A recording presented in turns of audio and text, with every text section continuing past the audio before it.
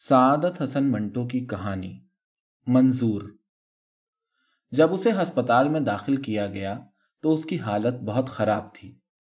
पहली रात उसे ऑक्सीजन पर रखा गया। जो नर्स ड्यूटी पर थी, उसका ख्याल था कि यह नया मरीज़ सुबह से पहले पहले मर जाएगा। उसकी नब्स की रफ्तार गैर यकीनी थी। कभी ज़ोर ज़ोर से फड़फड़ाती और कभी लंबे लंबे वक्फों के बाद चलती थी। पसीने में उसका बदन शराबोर था। एक लहजे के लिए भी उसे चैन नहीं मिलता था। कभी इस करवट लेटता, कभी उस करवट। जब घबराहट बहुत ज़्यादा बढ़ जाती तो उठकर बैठ जाता और लंबे लंबे सांस लेने लगता। रंग उसका हल्दी की गांठ की तरह जर्द था। आँखें अंदर धसी हुई, नाक का बांसा बर्फ़ की डली, सारे बदन पर राशा था। सारी रात उसने बड़े शदीद कर्ब में काटी। ऑक्सीजन बराबर दी जा रही थी। सुबह हुई तो उसे किसी कदर अफाका हुआ और वो निढाल होकर सो गया। उसके दो तीन अज़ीज़ आए, कुछ देर बैठे रहे और चले गए। डॉक्टरों ने उन्हें बता दिया था कि मरीज़ को दिल का आर्जा है, जिसे कोरोनरी थ्रम्बोस कहते हैं। यह बहुत मोहलिक होता है। जब वो उठा तो उसे टीके लगा दिए गए। उसके बदन में बदस्तूर मीठा मीठा दर्द हो रहा था। शानों के पट्टे अकड़े हुए थे, जैसे रात भर उन्हें कोई कूटता रहा था। जिस्म की बोटी बोटी दुख रही थी, मगर नकाहत के बायस वो बहुत ज़्यादा तकलीफ़ महसूस नहीं कर रहा था। वैसे उसको यकीन था कि उसकी मौत दूर नहीं, आज नहीं तो कल ज़रूर मर जाएगा। उसकी उम्र बत्तीस बरस के करीब थी। इन बरसों में उसने कोई राहत नहीं देखी थी, जो उस वक्त उसे याद आती और उसकी सऊबत में इजाफा करती। उसके माँ बाप उसको बचपन ही में दागे मफारकत दे गए थे। मालूम नहीं उसकी परवरिश किस खास शख्स ने की थी। बस वो ऐसे ही इधर उधर की ठोकरें खाता इस उम्र तक पहुँच गया और एक कारखाने में मुलाजिम होकर पच्चीस रुपए माहवार पर इंतहा दर्जे की अफलास जदा ज़िंदगी गुजार रहा था। दिल में टीसे न उठती तो वो अपनी तंदुरुस्ती और बीमारी में कोई नुमाया फ़र्क महसूस न करता, क्योंकि सेहत उसकी कभी भी अच्छी नहीं थी। कोई ना कोई आर्जा उसे ज़रूर लाक रहता था। शाम तक उसे चार टीके लग चुके थे। ऑक्सीजन हटा ली गई थी। दिल का दर्द किसी कदर कम था, इसलिए वो होश में था और अपने गिरदो पेश का जायजा ले सकता था। वो बहुत बड़े वार्ड में था, जिसमें उसकी तरह और कई मरीज़ लोहे की चारपाइयों पर लेटे थे। नर्सें अपने काम में मशगूल थीं। उसके दाहिने हाथ नौ दस बरस का लड़का कंबल में लिपटा हुआ उसकी तरफ़ देख रहा था। उसका चेहरा तमतमा रहा था। असलाकुम लड़के ने बड़े प्यार से कहा, नए मरीज़ ने उसके प्यार भरे लहजे से मुतासर होकर जवाब दिया। वालेकुम अस्सलाम। लड़के ने कंबल में करवट बदली। भाईजान, अब आपकी तबीयत कैसी है? नए मरीज़ ने इख्तसार से कहा, अल्लाह का शुक्र है। लड़के का चेहरा और ज़्यादा तमतमा उठा। आप बहुत जल्दी ठीक हो जाएँगे। आपका नाम क्या है? मेरा नाम? नए मरीज़ ने मुस्कुराकर लड़के की तरफ़ बिरादराना शफकत से देखा। मेरा नाम अख्तर है।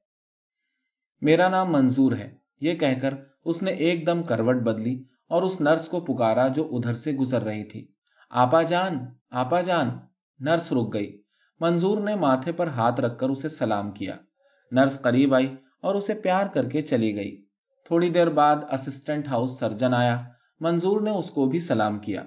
डॉक्टर जी, अस्सलाम वालेकुम डॉक्टर सलाम का जवाब देकर उसके पास बैठ गया और देर तक उसका हाथ अपने हाथ में लेकर उससे बातें करता रहा, जो अस्पताल के बारे में थी। मंजूर को अपने वार्ड के हर मरीज़ से दिलचस्पी थी।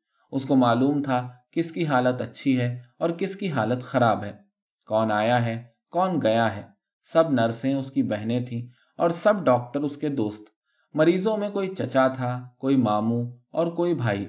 सब उससे प्यार करते थे। उसकी शक्ल सूरत मामूली थी, मगर उसमें गैर मामूली कशिश थी। हर वक्त उसके चेहरे पर तमतमाहट खेलती रहती, जो उसकी मासूमियत पर हाले का काम देती थी। वो हर वक्त खुश रहता था।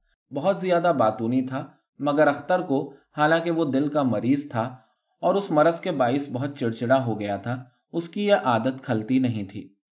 चूँकि उसका बिस्तर अख्तर के बिस्तर के पास था, इसलिए वो थोड़े थोड़े वक्फों के बाद उससे गुफ्तगु शुरू कर देता था। जो छोटे छोटे मासूम जुमलों पर मुश्तमिल होती थी। भाईजान, आपके बहन भाई हैं? मैं अपने माँ बाप का इकलौता लड़का हूँ। आपके दिल में अब दर्द तो नहीं होता है? मुझे मालूम नहीं दिल का दर्द कैसा होता है। आप ठीक हो जाएँगे, दूध ज़्यादा पिया करें।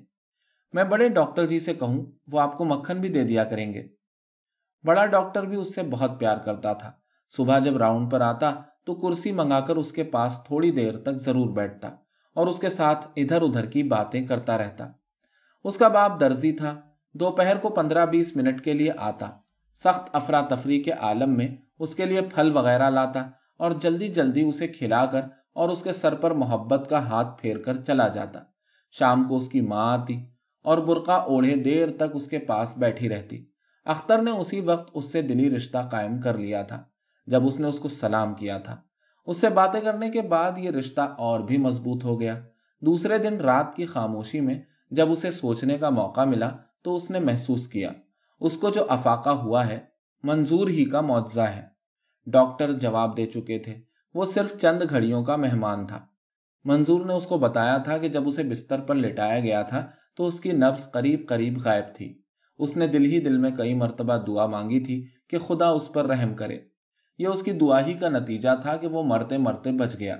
लेकिन उसे यकीन था कि वो ज़्यादा देर तक ज़िंदा नहीं रहेगा, इसलिए कि उसका मरज बहुत मोहलिक था। बहरहाल, उसके दिल में इतनी ख्वाहिश ज़रूर पैदा हो गई थी कि वो कुछ दिन ज़िंदा रहे, ताकि मंजूर से उसका रिश्ता फ़ौरन न टूट जाए। दो तीन रोज गुजर गए। मंजूर हसब मामूल सारा दिन चहकता रहता था। कभी नर्सों से बातें करता, कभी डॉक्टरों से, कभी जमादारों से। ये भी उसके दोस्त थे।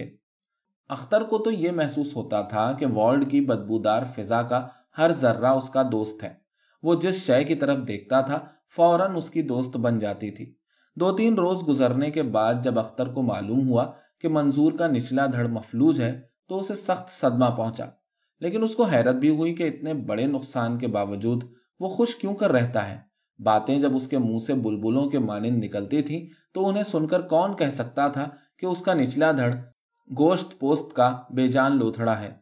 अख्तर ने उससे उसके फालिज के मुतालिक कोई बात न की, इसलिए कि उससे ऐसी बात के मुतालिक पूछना बहुत बड़ी हिमाकत होती, जिससे वो कतन बेखबर मालूम होता था।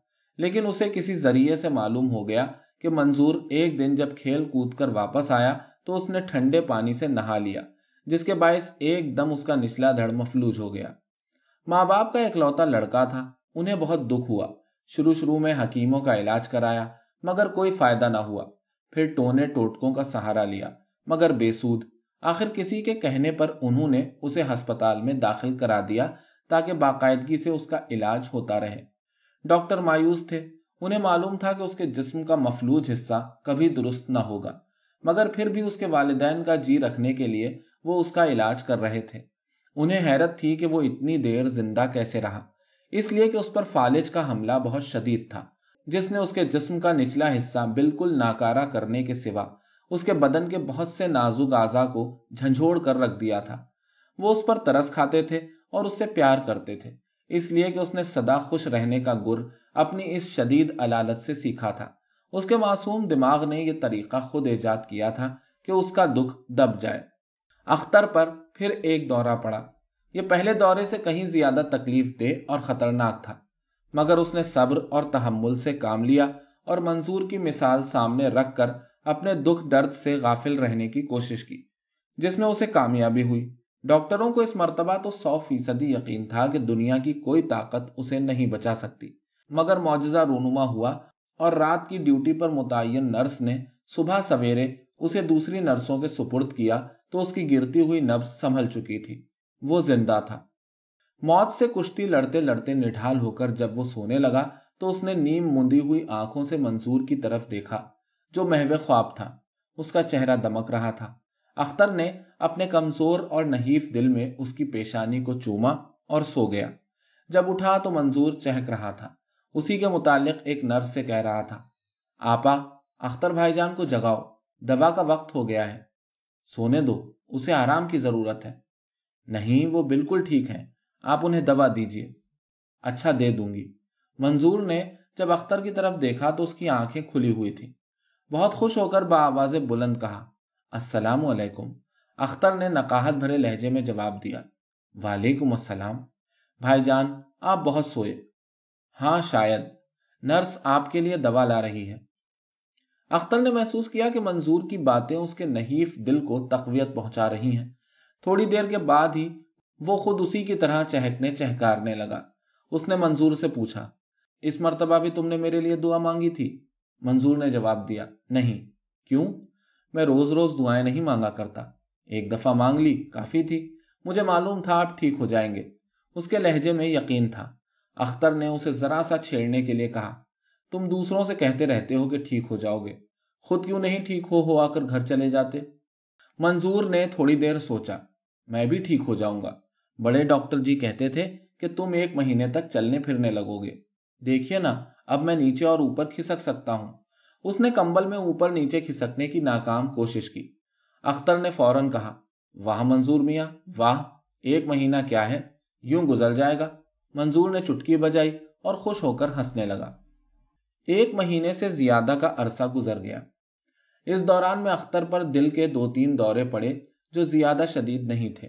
अब उसकी हालत बेहतर थी। नकाहत दूर हो रही थी। आसाब में पहला सा तनाव भी नहीं था।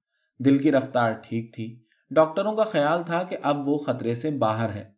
लेकिन उनका ताज्जुब बदस्तूर कायम था कि वो बच कैसे गया। अख्तर दिल ही दिल में हंसता था। उसे मालूम था कि उसे बचाने वाला कौन है। वो कोई इंजेक्शन नहीं था। कोई दवाई ऐसी नहीं थी। वो मंजूर था। मफलूज मंजूर।